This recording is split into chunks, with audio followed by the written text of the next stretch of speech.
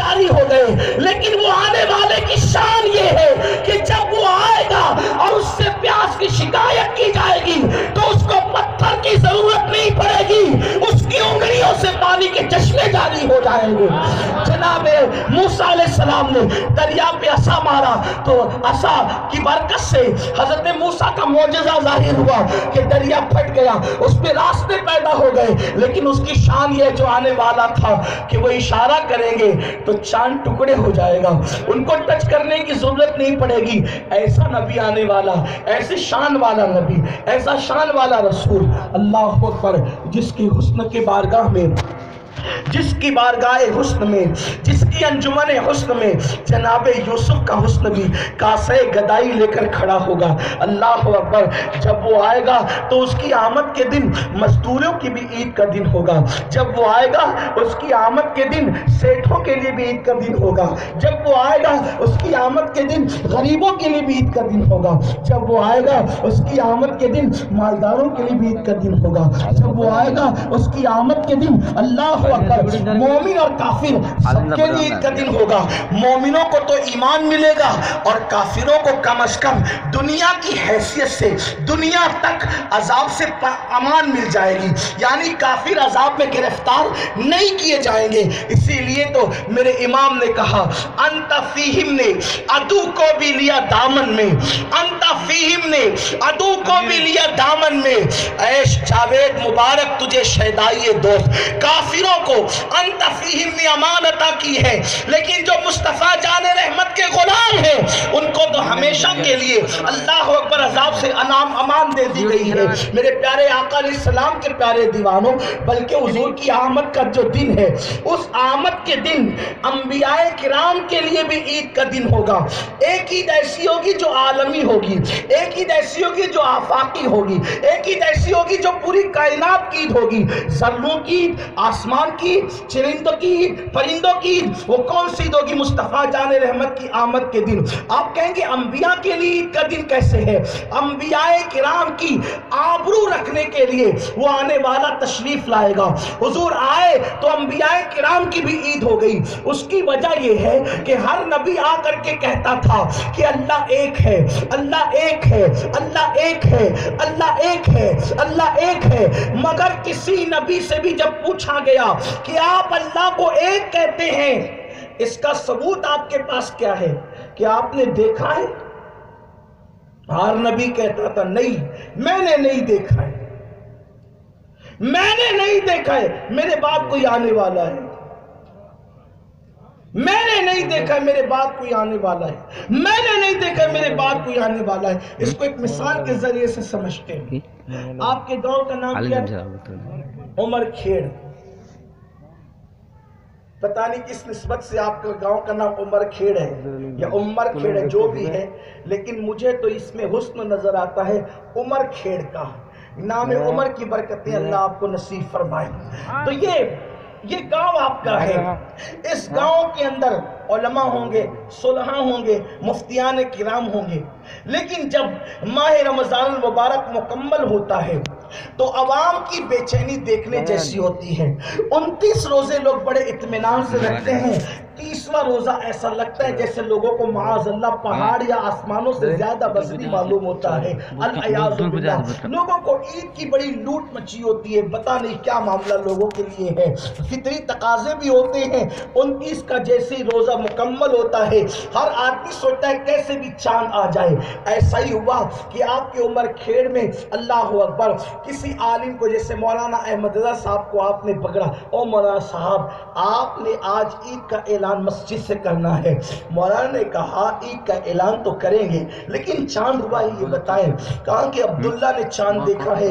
آپ اعلان کر دیں۔ کہ ایسے اعلان چاند کا تھوڑی ہوتا ہے۔ بلاؤ عبداللہ کو، عبداللہ آیا، عبداللہ کے آنے کے بعد کہ عبداللہ بھائی، آپ نے چاند دیکھا؟ کہ نہیں، میں نے نہیں دیکھا، میں نے سنا ہے۔ سنا ہے کہ عبد الرحمن نے چاند دیکھا ہے۔ عبد الرحمن آئے عبد الرحمن کو بلاؤ۔ عبد الرحمن محفل میں آیا۔ ارے مولانا صاحب، اتنی بھیڑ لے کر کے بیٹھے ہو۔ عید کی چاند کا اعلان تو کرو تو کہا کہ میرے بھیا اس طریقے سے عید کے چاند کا اعلان نہیں ہوتا۔ چاند ہوا کہا ہاں ہو گیا۔ وہ دیکھے سارے مارکیٹ بڑی ہوئی ہے۔ بچے جو ہے وہ عید کے ترانے گا رہے ہیں۔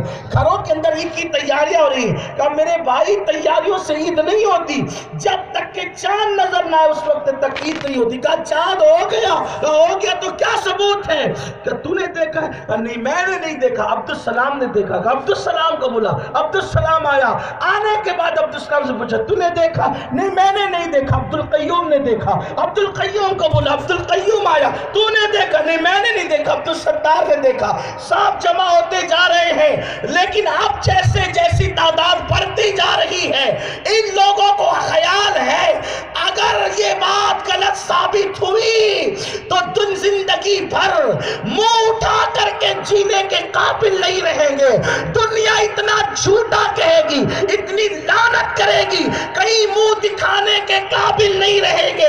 لیکن اب تو ستار آیا، مولانا نے پوچھا تو نے دیکھا چاہو کہ میں نے نہیں دیکھا۔ میں نے سنا کہ حافظ امین صاحب نے چاند دیکھا۔ بلاؤ حافظ امین کو۔ حافظ امین صاحب آئے بھائیو بیٹھے کی وہ اٹھو، چاند کی تیاری کرو، اعلان کرو، چاند کا عید کی تیاری کرو۔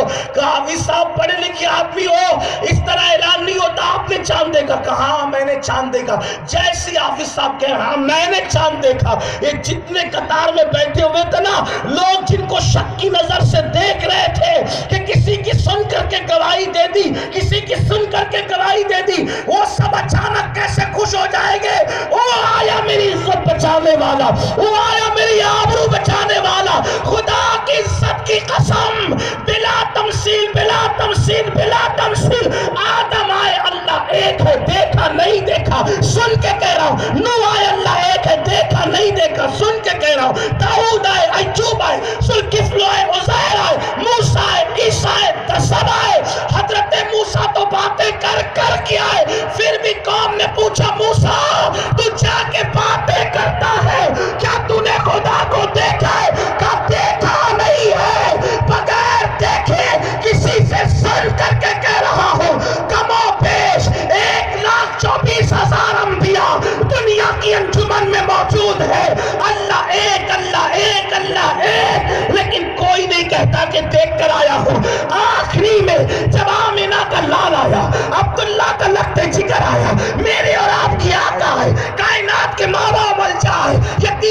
یتیموں کے گسار بیواؤں کو سہاگن بنانے والے، جو چاہے وہ اجڑیوں کو بہارے دلانے والے، لڑنے والوں کو ملانے والے، گالیاں سن کر دعائیں کرنے والے، دشمنوں کو کبائیں دینے والے، لوگوں سے محبت سے پیش آنے والے، جانوروں کا حقوق بتانے والے، بھوکے رہ کر دوسروں کو کھلانے والے، اللہ اکبر، لوگوں میرے تشریف لائے، حضور نے بھی کہا فاران کی چوٹی سے۔ اللہ ایک ہے، لوگوں نے پوچھا، ہمیشہ سے سن رہے تھے، لیکن ٹاپک سے سوال تھا، کیا تم نے دیکھا ہے؟ ہر ایک ہی کہتا تھا، کسی سے سن کر کہا، کسی سے سن کے کہا، وہ آمینہ کے لال، کیا تو نے دیکھا ہے؟ تو میرے نبی نے کہا ہاں میں دیکھ کر بتا رہا ہوں۔